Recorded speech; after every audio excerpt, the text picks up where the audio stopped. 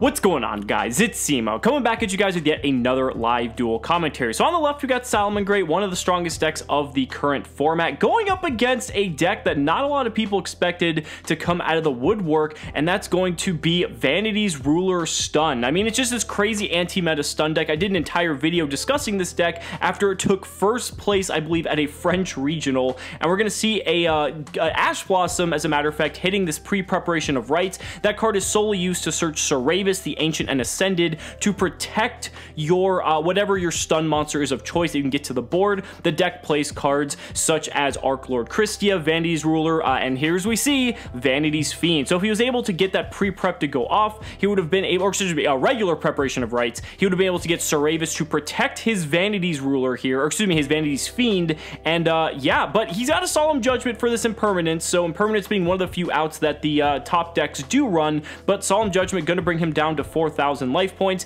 but that Vanity's Fiend is still going to have the game on lock, and neither player is going to be able to special summon, and it's going to be pretty rough for the Salamangreat player. There aren't really too many other outs that I think natively these main meta decks at the moment run to be able to combat something like this, and that's why a deck like this has managed to see some amount of success. Now, I think one of the biggest issues here as we see the Salamangreat player fire off a Cynet Mining for Foxy, one of the biggest issues is I think going up against Rogue, because the Rogue decks don't really care about special summoning nearly as much as a deck like, uh, let's say, Salamangreat or Orcust or anything like that. But if you can play up against like all meta decks throughout the course of a tournament, and if you can win some die rolls, because obviously there is a big degree of luck to this, you can do just fine. So we're going to see a normal summon of Foxy. Ooh, there's another impermanence. There's going to be a whiff, though, on the Foxy effect, so no extra card advantage there. Like I said, it's going to be very difficult. I don't think there's very many outs for Salamangreat to even be able to play under a card like this. Uh, so we're to have to see him uh, struggle for a bit here. But the thing is, one of the weaknesses, I would say, of this stun deck is that they do struggle to get damage on the board because if you don't have really much follow-up, yeah, sure, you can lock them out, as we see this Vanity's Fiend attack over the Foxy for uh, 1400 damage. But if you can't close out the game, they do have several turns to possibly draw into their copy of, let's say, Infinite Impermanence to be able to out the Vanity's Fiend. And, you know, with cards like, let's say, Flame Buffalo, which the deck can play, uh, you know, there are going to be some ways for uh, you to be able to dig in a deck like Salamangreat. Orcust has Allure of Darkness and Orchestrated Nightmare. So there are ways to kind of go ahead and search your outs here. We're going to go ahead. It looks like a Flame Buffalo actually just hit the graveyard as a matter of effect as we see a Salamangreat monster get sent off uh, for the effect to draw a couple more cards. So again, just being able to dig for a few cards deeper, we didn't see the uh, Vanity Stun player get any extra damage in that turn. So if you aren't able to establish multiple threats, then the deck doesn't look too intimidating, although it can be frustrating playing against this deck, considering if you don't have any other outs natively in your deck, at least that might be searchable, let's say. Ooh, and here comes an Inspector Boarder. So this is what I was talking about. So now that he has two threats established, he's able to swing in for 4,400 here, so that's going to actually put the uh, Salamangreat player within lethal damage next turn if he's not able to find an out. But even if he finds an out for this Vanity's Fiend, Inspector Boarder is also another card that's very difficult for Salamangreat to deal with. Here's an Upstart Goblin, so uh, the uh, Vanity Stun player is going to go ahead and gain a 1,000 life points there, up to 5,000. Remember, he used uh, 4,000 for that Solemn Judgment. And uh, hopefully that card will do him some good, but if not, that just might be the end of this first game. He's going to set a monster in defense. That's pretty desperate considering these monsters can pretty much hit over any main deck Salamangreat card. So he might just go to battle. Inspector Board is going to hit over what looks like a Jack Jaguar, and the Salamangreat player is going to scoop it up, and we're going to go into game number two. And I want to remind you guys that we do have Pro Play Tour Las Vegas coming up here on December 15th. This is great because there's a regional sanctioned by Konami on the 14th at the same venue on the same weekend. So you guys can get two events in one weekend. 20 bucks to enter, $2,000 in cash will be handed out. And if you get your invite, you'll be invited to the $10,000 Invitational in January in Orlando, Florida. So links are in the description if you want to pre-register. West Coast players, you better turn up, and I hope to see you guys there. So starting off with game two, Salamangreat's going to go ahead and go first, whiffing on another Foxy effect. I believe there's a double impermanence and a spell card in there. So not having much luck on the Foxy effects.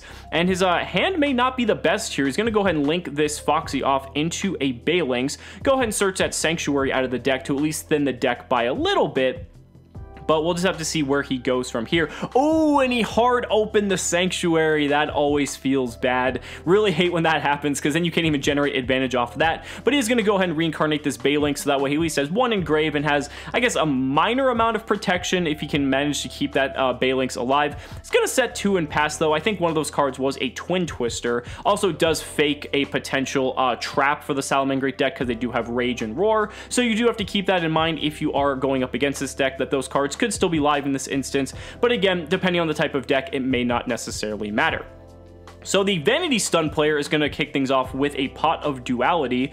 Again, because your deck doesn't special summon. Oh, I mean, it goes to a minor degree. I guess you can summon some tokens here. We're going to see two Vashudas. I guess Vashuda also special summons itself. And uh, a copy of There Can Be Only One. So he's going to opt to take that. There Can Be Only One is very devastating against uh, a lot of the top decks, but Salamangreat especially since they do play uh, primarily all Cyberse type monsters. So it can be very frustrating as a Salamangreat player to play under that. Luckily, Foxy is a way to out it naturally However, it can still just be very difficult for the deck to deal with if you do not have access to a Foxy, but fortunately, our Salamangreat player does. Now here comes an Inspector Boarder, so that is a, a, pretty menacing threat for Salamangreat here. He can go ahead and hit over the Balelynx. Uh, that's going to go ahead and deal 1500 points of damage, unless we have a response here. And there's the Rage, that's what I said. So he's able to target the Balelynx and pop the Inspector Boarder. You know, Inspector Boarder doesn't stop traps, so that's a pretty good one. And uh, he's going to go ahead and set uh, four cards here. Wow, okay, so going in, we do know one of those is there can be only one. And we're going to see a Blind Twin Twister at end phase, and we're going to see what he pops here. It's to go for those middle two. With that, there can be only one looming. That is a bit threatening, and it looks like he hit uh, what looks like to be a Monarch Stormforth, and I think there was a heavy Storm Duster underneath that, as a matter of fact, but I couldn't get, I only got a quick glimpse of it there. And it looks like the Salamangreat player is going to go ahead now, and we're going to see what he's got he's going to go ahead and uh, use this copy of Rage, and uh, that's going to go ahead and pop one of these random cards because he just uh, drew that Rage set and passed, and now we're going to go ahead and see him go ahead and blindly pop another card here. It looks like he's going to go for the uh, Heavy Storm Duster as it would sit. So did not hit the There Can Be Only One. That has to be frustrating. That card is still live, and we might see it get uh, shotgunned here. Yes, so now it's going to be up. Now, unfortunately, it's uh, going to be rough because now he's locked into that Balelynx and there's not really a whole lot he can do. Again, these stun players just have access to so many powerful tools, but uh, we're going to have to see if he has a way to out. If he can find a way to clear the Balelynx off his board, oh, there's a circle. Okay, so circle at least allow him to dig through his deck a little bit, but if he can get this Balelynx off the board, then he can just easily summon the Foxy with any Salamangreat card he can search off this circle. So that's actually pretty good. Looks like he's going to go ahead and opt for another Foxy here. Doesn't seem too necessary because he already has one. But uh, yeah, okay, so he's going to go for a second one. Maybe just to possibly dig for another Salamangreat card. Advance his board state a little bit more. Unfortunately, I don't think he's going to be able to summon it because if there can be only one. But at least he does have it uh, just to discard for the other Foxy. He's going to swing in with the Balelynx for only 500 damage. Pretty uh, meager amount, but it could add up over time. And he's going to pass the turn. So plays back here to the Vanity Stun player. He really just needs to establish a monster on the board at this point, and uh, it looks like he's just passing. I think he has two monsters in his hand he can summon, but he doesn't have any means to summon them from. And there's a top deck Cosmic Cyclone for the There Can Be Only One. That is huge, and that's going to allow him to start going off here. He has a normal summon of Foxy in his hand, and depending on what he gets off of this, there's a Buffalo, there's a Cynet Mining, and there's another Buffalo. Wow, three for three on misses from Foxy. You play a pretty heavy density of Salamangreat cards, so that is pretty unlucky. However, um, it's not the end of the world. He's still able to do plays. He can do plenty of things like link off now into like Sunlight Wolf, different things like that. He looks like he's going to bounce Foxy back to his hand for Falco. So again, there's plenty of things he can do here. You can just attack in for the uh, 1200 and the 500 from the Balelynx as well, but it looks like he's going to go ahead and link off here instead. But bouncing the Foxy back to his hand allows him to use it again next turn, so I like this definitely a lot better. Looks like he's going to reincarnate the Sunlight Wolf, and that's really strong because then he can use the reincarnated Sunlight Wolf's effect to get the Rage back from the graveyard, pop two potential cards, and keep in mind, these Vanity Stun decks, um, if you're not already established with Protection, Rage can be a very powerful option here because if they have any way to uh, establish something, like let's say a Vanity's Fiend or a Kristya or anything like that, Rage is something that can easily just make quick work of it, and it's something that you don't really have to worry about. So I like this a lot. Wolf is going to hit in for 8 1800. So that's going to put him down to 5700 life points, I think, when you add in the 500 from the Balelynx as well. And I think the uh, Salamander player is down to 7000 because he used the Cosmic Cyclone. Gonna set the Rage and just pass turn. You gotta feel pretty good in this simplified board state having a Rage that can pop two cards. But there's a Monarch Stormforth. Ooh, that's pretty rough here. So Stormforth allows you to tribute your opponent's monster. And uh, yeah, so that's going to be a way that he can bypass um, anything here. So he could potentially, I think, can he rage his own wolf? That might be the play. And it looks like he's going to, or no, it looks like he's going to target the, um, it looks like he's just going to, no, oh no, he is actually targeting. Okay, or he's going to send it with the effect of the uh, the first effect of Salamangreat Rage. So that way he gets it off the board and the opponent will not be able to uh, summon a monster. I think that was a very heads up move because just getting them to establish that would just be awful. Here comes Foxy. Is he going to whiff a... Oh my god, he got another Foxy. Okay, so he's... Man, one in four, but unfortunately hitting another Foxy is not the greatest, but it looks like he drew a Spinny for turn, and now he can pitch that for the Spinny, or excuse me, the Foxy on the field already, summon it from the graveyard, go into Mirage Stallion, and it looks like the Vanity Stun player has seen enough enough. And we're going to go into game number three. Now, this is very scary because even though side decks are in play, Vanity Stun going first in game three, you really don't want to be on the receiving end of that, but you got to make the best of it that you can. Hopefully, the Salamander player can either draw into some of his outs or those infinite impermanences get glued to his hand. But you got to feel pretty good if you see him just setting two cards and then passing. So let's see what else he's going to do here. Is that a Dragonoid generator? It looks like it. So for those of you who aren't familiar with this card, uh, if you played back in the day, it's essentially Mausoleum of the Emperor, except only you can use it. Mausoleum of the Emperor, both players could use to uh, tribute summon monsters. But Dragonoid generator, essentially you pay a thousand life points to make a token, and then you can do that twice per turn. So that way you can get two monsters on the field to tribute. You locked out of the extra deck if you do this, but for Vanity Stun, they do not care in the slightest. And then at the end of the turn, I think the opponent gets a uh, token so that way, um, I, I, mean, I guess that's just a drawback so that way they can link off with it, but we'll have to see how much this matters. Looks like he's just gonna make one token though, and he's gonna use instant fusion and pay another life point, uh, or excuse me, thousand life points for his second monster here.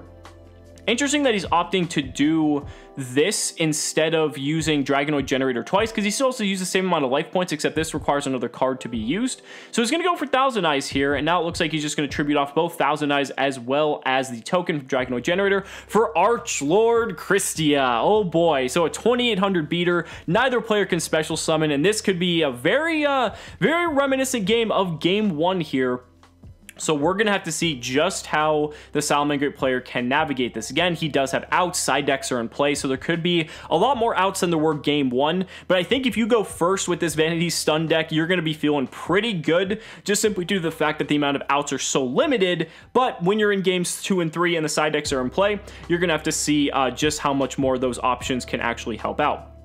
So Foxy's going to hit another Foxy at the least. Wow. Foxy into Foxy again. Not really getting much help off the Foxy, but you know what? We take those plus ones. It's perfectly fine.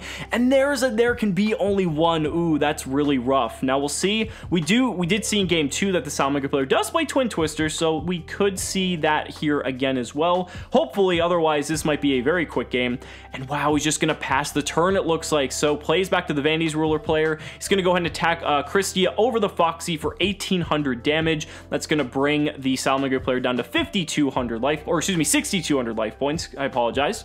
And play is going to go back to the Salamander player. So again, the Salamander player, again, he, the pressure's on, but he's not in the most immediate of danger here because the Vanity Stun player does need to establish a threat. So here comes another Foxy. Let's see if we get some help here. There's Pankratops. There's a Jack Jaguar. Okay, so it's something that's not a Foxy for once, but it looks like Foxy's finally putting in some work. But again, all these plus ones are good. You're thinning the deck by a card every single time you do this. And if you don't have the out to the Kristya, which he didn't last turn, so he might not this turn either, at least you're digging deeper to allow yourself to find those outs. And just even those little things by thinning your deck by a card can sometimes make the difference as to whether or not you get what you you need. So here comes Twin Twister. We're going to go ahead and pitch a card here, and looks like it's going to be Jack Jaguar. I assume he's going to take out that there can be only one, so that way he can play at least to a degree. Obviously, Kristya is still on the field, but at least he'll be able to normal summon multiple monsters if he has the ability to do so. But wow, actually going for the other uh, Dragonoid generator. So he's going to hit a set Cosmic Cyclone and the Dragonoid generator and pass play back. And now, again, here we go. Kristya hitting in another 1800 damage. So that's going to put him on uh, 4400 life points, I believe, because I think he's taken 3600 total. And uh, But again, no other immediate threat here from the Vanity Stun player. So there's still at least a couple turns for the Salamangreat player to survive here. And uh, there we go. We see the life points there, 8000 to 4400. And again, even just setting a monster here, yeah, another turn's passing, but as if they don't have any sort of win condition, like the Dragonoid Generator being allowed them to get the tributes to summon one, then you're in a pretty okay position. You know, Spinny's getting destroyed, not the end of the world. Vanity Stun player is going to go ahead and set another card and pass play back.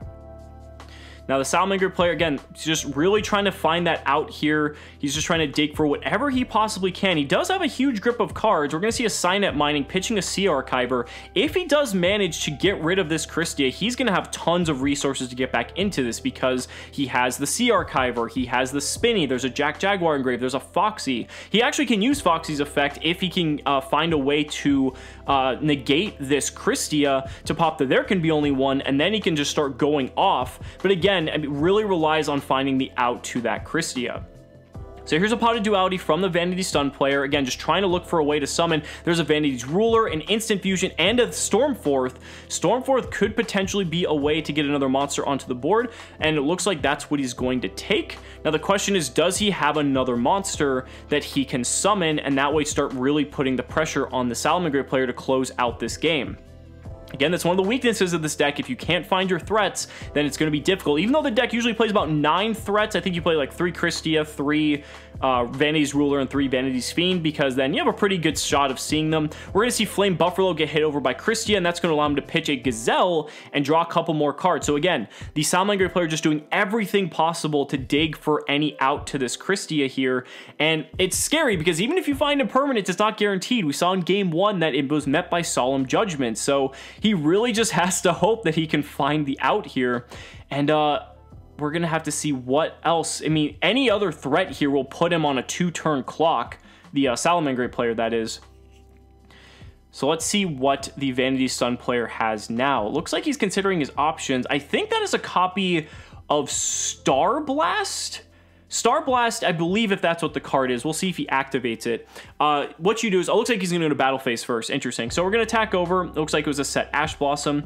And uh, if that is a Star Blast, Star Blast is a card that you pay 500 life points uh, per increment and to reduce the level of a monster in your hand by one per increment. So you could effectively make an 8-star monster, a 4-star monster if you paid 2,000 life points. And it's a nice little card that probably has never seen play ever, but for this particular deck, I think it's pretty cool just to allow you to get your big threats on on the board. Um, just for the cost of a card, really, life points are obviously a resource. And here comes the Star Blast. So this is going to be interesting to see what he's going to summon here because I'm curious, depending on what else he has in his hand, I think that might be a Vashuda right underneath his thumb. He has a duplicate copy of Kristya, which he can't summon because of there can be only one, but Vashuda is a worm, so it's not the same type as Kristya, so he will be able to summon that. I believe Vashuda is a 7, so that way he'd just have to pay 1,500 life points.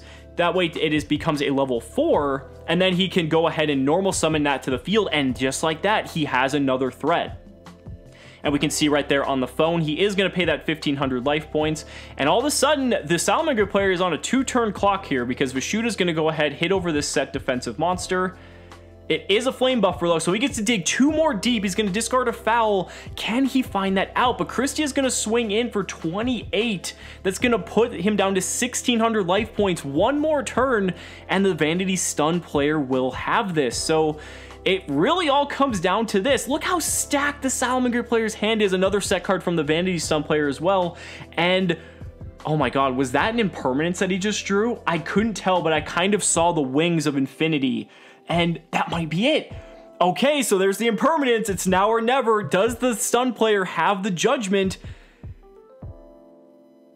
Oh, is this gonna go through? It looks like it is. So Kristya's turned off now, and now you can just summon Foxy to be able to go ahead. Oh, it's going to summon Pankratops first. That's even better because now he gets another threat on the board and it gives you some significant damage in addition to that. So now you can go ahead, pitch for Foxy, summon it to the board. That allows you to go ahead and pop the uh, there can be only one. So that way you're able to play, assuming he doesn't have a uh, this Vanity Stun player that is has a duplicate copy. And then at this point, you can take full control of this game because we saw how stacked his graveyard is. There's a Gazelle in the grave. There's a Jack Jaguar. There's a Spinny. There's a Sea Archiver. So at the very least, he has an auto um, Mirage Stallion on his field. There's a Fowl in the grave, which he could somehow recur. I mean, this deck is so good at recurring its resources, so I'm not really too concerned about that. I mean, this could just completely turn the tide of this duel, and the Salamangreat player might be able to walk away with this. Not to mention, Pankratops is able to pop a card at will, but the very least, it signifies just 2,600 points of damage that could possibly just go straight into the Vanity Stun player's face. We're going to link off the Foxy for a copy of uh, Balelynx here.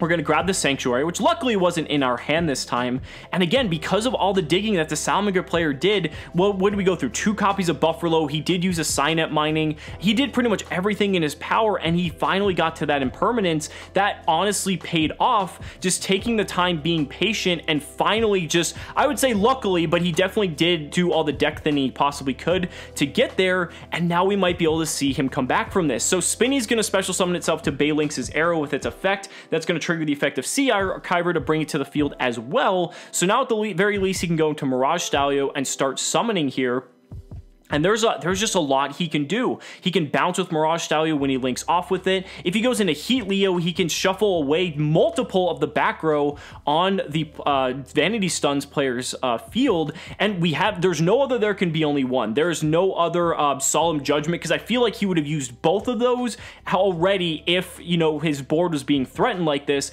So those back row are really not as threatening as people might think here. But we're going to start with a Phoenix. And Phoenix is even great as well because that allows you to take care of the third back row and just clear all the threats. And this is where we're really going to get to see Salamangreat shine when it has all of its resources available. There was a copy of uh, Monarch Stormforth being popped by the Phoenix here. I'm not sure if he activated it or not because I don't think they have any effects that tribute during the opponent's turn. But, um, you know, he gets to draw a card off the Phoenix as well since it was co-linked to the uh, Balelynx here. So, again, just having plenty of resources to deal with this board. Now it looks like he's going to go ahead and link uh, these off. We could possibly see a Heat Leo here to start shuffling away the other back row, and there it is. So Heat Leo's going to go ahead and come down, shuffle away the first back row that still remains, and then he can go ahead and Reincarnation Link summon the second Heat Leo, take care of the other back row, and then he knows there's no other threats in the back row, and then he can go into a Mirage Stallion at some point, I imagine, bounce something like the Kristya or the Vishuda, and then he can try to maybe OTK at this point. I don't think it's impossible because he has the Pankratops, Salamangreat does sometimes have an issue with damage, but Pankratops kind of reduces that threshold significantly, and not to mention Heat Leo can use its uh, Reincarnation Link Summoned effect to make the attack of one of these monsters zero here.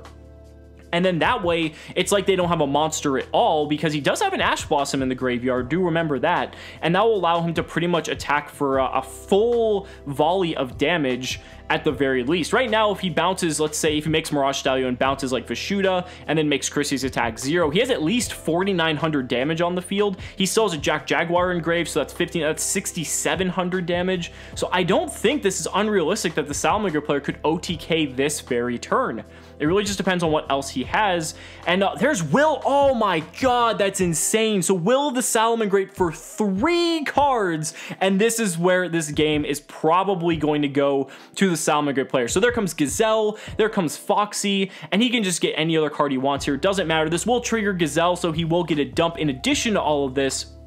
And this is just going to be an absolute slaughter now. Wow, just just like that, the Salamander player off of that one impermanence completely shattering the unassailable board of the Vanity Stun player. And that just shows one of the weaknesses of this deck, that if you don't have your Sauravis, if you don't have your Solemn Judgment to protect your Kristya or whatever your stun monster of choice is from being negated, then all of a sudden it can go south immediately from the sheer amount of resources that the Salamander player has managed to assemble. We see Mirage Stallion now going ahead and special summoning Falco directly from the deck. He is locked into fires now, but I don't think it matters at this point. He can just go ahead and make like a Sunlight Wolf, bounce Vishuda, and he should have more than enough damage on the board to be able to clean this game up. He can make a Sunlight Wolf for 1800, resurrect Jack Jaguar for an additional 18, and I honestly just think that's the game right there.